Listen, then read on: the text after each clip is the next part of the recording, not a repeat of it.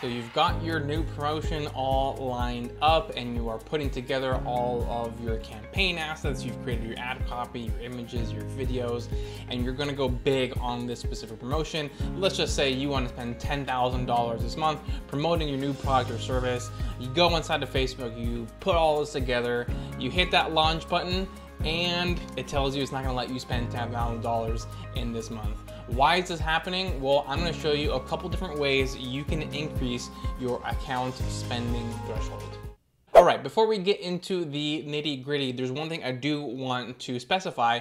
When we talk about account threshold spending limits, there's really two types. There's a self-imposed limit where you yourself can go in and tell it, hey, I never want to spend more than $500 in a month, $1,000 in a month, $100,000 in a month, right? You get to tell it what, what it is that you want your limit to be. That's not what I'm talking about in this case. What I'm actually talking about is a meta imposed limit. So let's say you do want to spend $10,000 or whatever it might be, but you keep on uh, launching your campaigns and it's only letting you spend, you know, $20 a day, you know, $50 a day, right? You're not hitting your actual goal of being able to spend $10,000 for the month. So for the self-imposed, that's really easy. You just go into your billings and then you click on the account spending limits. You tell it what you want to hit for a month and then you're good to go. I've never really seen the need for this because you always tell Facebook, at the campaign level or at the ad set level how much you want to be spending for your campaigns. And so like if you don't want to spend more than $5000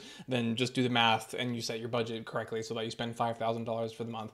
So i'm not really sure what the benefit um, of that is. Going back to the meta imposed spending threshold so this really happens in two scenarios either you are a brand new ad account and this is your very first time jumping into facebook ads or maybe you've been running facebook ads for a very long time, but you took a two month break, a three month break, a four month break, whatever it is, and you're ready to get back into it. And let's just say you were accustomed to spending, you know, $50,000 in any given month, but then all of a sudden you're limited to $10,000. This is actually something that happened to a client of mine. She's always been spending a lot of money on her ads, but she, she took a little break and then she came back and we started running campaigns and we wanted to spend $50,000, but it wasn't letting us. We were hitting this $10,000 limit. And so what we ended up having to do is create multiple ad accounts that all had this $10,000 limit. So I think we had like three or four different ad accounts running. It was absurd. But anyway, that's what happened. So those are two scenarios.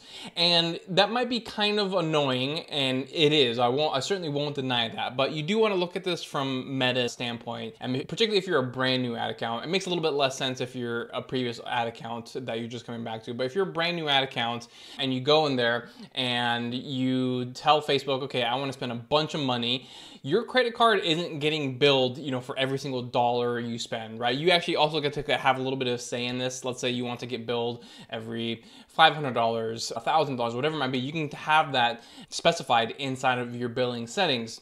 So if you're Facebook and you're a brand new ad account and you want to spend a ton of money, they want to make sure that, you know, when they charge your credit card, it's not going to get rejected or declined, right? They want to make sure that if your credit card gets billed for $10,000, they're going to get $10,000 back. And obviously, if you're a brand new ad account and you're just starting, they're a little bit suspicious. And so they need to protect their own interests, even though they have plenty of money, but they need to protect their own interests and make sure that you are a legitimate person and you're not trying to essentially fraud uh, or defraud Facebook out of their own ad dollars right there. So that's why they have these meta imposed limits because they just want to make make sure that you are real. And so what ends up happening is that if you're a brand new ad account, it, it, I've seen it always change. Uh, there isn't like a set number, but I've seen ad accounts where it literally only lets you spend $3 a day. Other ad accounts, it'll be up to like $50 a day and anything in between. But it literally won't let you spend more than that until you have been running ads for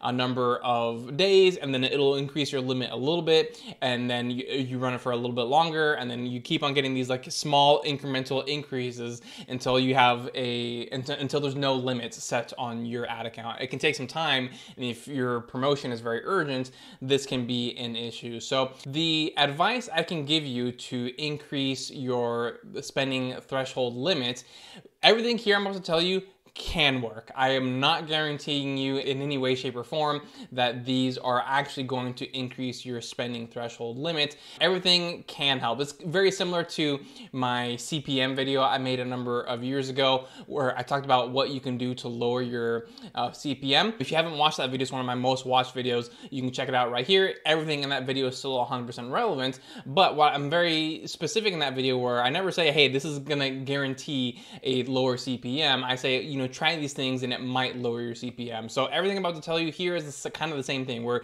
if you follow these, you might avoid having this very low meta imposed spending threshold limit. So first and foremost is to verify your domain. Now, for anyone who was running ads during the dawn of the iOS 14.5 privacy updates probably remembers this stuff. This actually used to be a required step. It's no longer required anymore, but you have to go in and verify your domain. And until you did that, you couldn't run ads. But they got rid of that rule, I don't know, maybe like a year ago, perhaps a little bit longer. So even though it's not required anymore, it's still a good step because it's one indication to Meta that you are a legitimate business and you have a legitimate website. It's very easy for someone to set up a fake website and stuff like that and run ads to that. But if you go through the verification process, it's very unlikely that you would go through that hurdle if you're just trying to kind of cheat Meta out of their money. The next step is that you want to fill in your business info. So inside of your business manager and then inside of your business settings, right, there's a section where you can give Facebook slash Meta All of your uh, information as a business, right? Your legal entity name, your address, your business phone number, and 99.9% of people leave this blank because, you know, it's not technically required or necessary in any way, shape, or form. However, it is going to send a signal to Meta that you are a real and legitimate business. So the more information that you can give them, you're verifying your domain. Now you're feeding them all your business information. So those are two indications that they have now that you are a legitimate business. And then a third one on top of that is that once you have all your business information in there, you can then get your business verified. So there's two things you can get verified here. You can get your domain verified and then you can get your business eh, verified. So if you do both those verification processes, again, huge green signals, positive green signals that you are a legitimate business to Meta and perhaps they will just completely get rid of the Meta imposed spending limit or even if they still have a limit on you, they'll make it a little bit higher higher than they do for most other new businesses. And then the final recommendation, and honestly, I will say this is my least favorite one, and I, I really don't recommend it unless you're very desperate to increase your spending limit right now. Um, and that's actually getting Meta verified. Now, if you don't know what Meta verification is, I have a whole video right here that goes over what that process is. But the reason this is my least favorite um, is because you have to pay for this. So everything I talked about before, getting your domain verified, verified, feeding your business information, getting your business verified, all that's free. It just takes up your time. But being meta verified, you do have to pay them a monthly fee, and that changes a little bit whether you're just trying to get verified on the Facebook or Instagram side, and whether you do it from mobile or desktop. Again, I break it down all in my video, so go ahead and check that out. It's gonna be, you know, roughly $12, 14 dollars a month. Now, again, if you're very desperate, you could go through the verification process and you submit your ID. Again, they're just trying to make sure that you are who you really are saying you are. And so it's a little bit of a process, but once you get that verification and you're giving them money each and every single month, it does open up some perks and some avenues and some reps that you can actually reach out to that you don't have access to when you're not Meta verified. But again, you're already giving Meta so much of our money. That's why this is my least favorite one. So I would avoid it unless you're really, really desperate to increase your spend threshold ASAP. So hopefully these tips made sense and they can give you a little bit of a guide on how to increase your spending threshold if you find yourself stuck in this meta imposed jail. But as always, if you have any questions about anything I went over today, just let me know in the comments below. Thank you so much for tuning in, and I will see you next time.